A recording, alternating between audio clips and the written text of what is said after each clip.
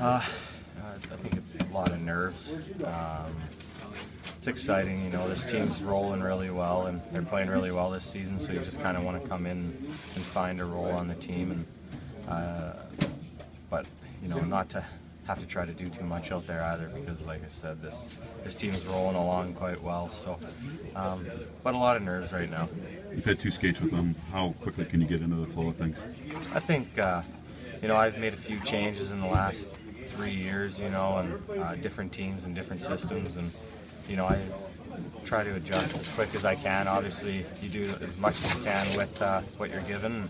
Uh, but system-wise, I think usually it's a couple games. But uh, you know, especially playing with the players before, I, I hope it comes back tonight. That'd be great.